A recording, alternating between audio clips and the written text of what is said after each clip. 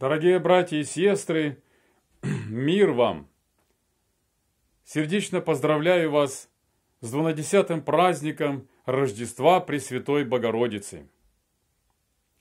Пресвятая Богородица, единственная всего рода человеческого, удостоившаяся такой великой чести быть матерью самого Господа Бога.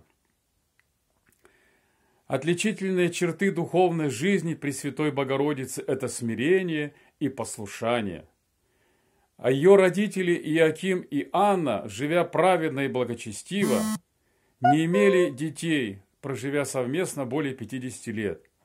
И вот к концу своей жизни Господь через архангела Гавриила сообщил им великую радостную весть, что у них родится девочка – и она будет матерью самого Господа Бога, матерью всего человечества. Пресвятая Богородица, спаси нас! На примере Иакима и Анны, родителей Пресвятой Девы Марии, мы можем научиться терпению, терпению и никогда не отчаиваться, не унывать в наших просьбах Господу Богу, зная, что Господь всегда услышит нас, что Господь всегда рядом и исполнит в первую очередь, конечно, наши духовные прошения. Пресвятая Богородица является матерью всего человечества. От нее мы можем научиться кротости, смирению и послушанию. Дорогие братья и сестры, Давайте будем такими же смиренными и послушными.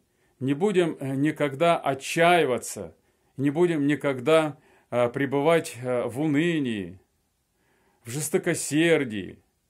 Будем и жить по заповедям Божьим, будем исправляться от наших душевных изъянов, от наших духовных ран, которые мы носим на нашем теле, от наших страстей. Давайте будем следовать примеру Пресвятой Девы Марии. Будем во всем послушными Господу Богу. Господь всегда нас услышит.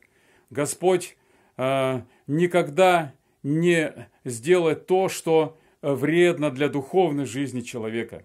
Поэтому, когда мы видим, что э, как, э, если быстро не исполняются наши прошения – перед Богом, то э, Господь э, медлит и проверяет нашу веру. Господь испытывает нас, чтобы спасти нас, чтобы спасти нас от страстей, от нашей греховной жизни и ввести нас в вечную славу, в Царствие Небесное, которому и призваны все мы, люди, живущие здесь на земле. И также хотел бы обратиться а, к тем священникам и мирянам, а, э, которые еще до сих пор находятся в ереси, которые не оградились от отступления от истины, чтобы они пришли в разум православной веры, потому что а, те священники, которые оградились от, от, от ереси, которые не поминают ересиархов, они также награждены Господом Богом и еще в большей степени пребывают в благодати Божией, потому что они находятся в истине. Поэтому не, давайте не будем, не будем малодушествовать. Давайте будем хранить чистоту православной веры.